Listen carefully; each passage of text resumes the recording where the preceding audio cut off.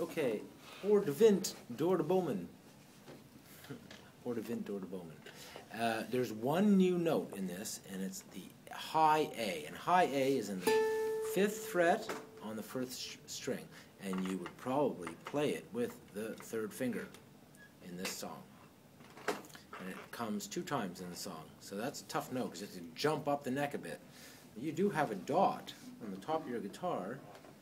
It tells you that that's the fifth fret. It's the first dot. And there's another one on seven and nine and then twelve.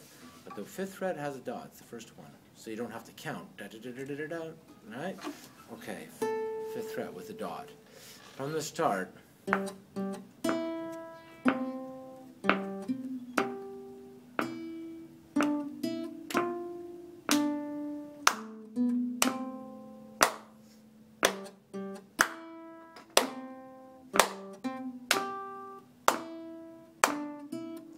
High A.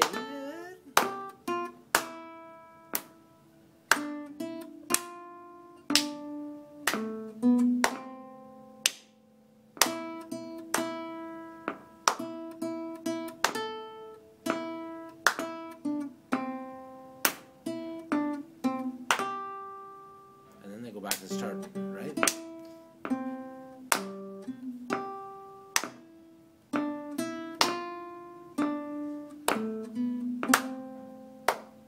Grab the shaker. Take, take the shaker, the, the shaker there. That one? The yellow one. Oh. Okay, ready? Let's do it with the shaker. You play the shaker. I'll play the guitar. Okay, ready? I'll play. We'll play a bit faster. Ready? One, two, um.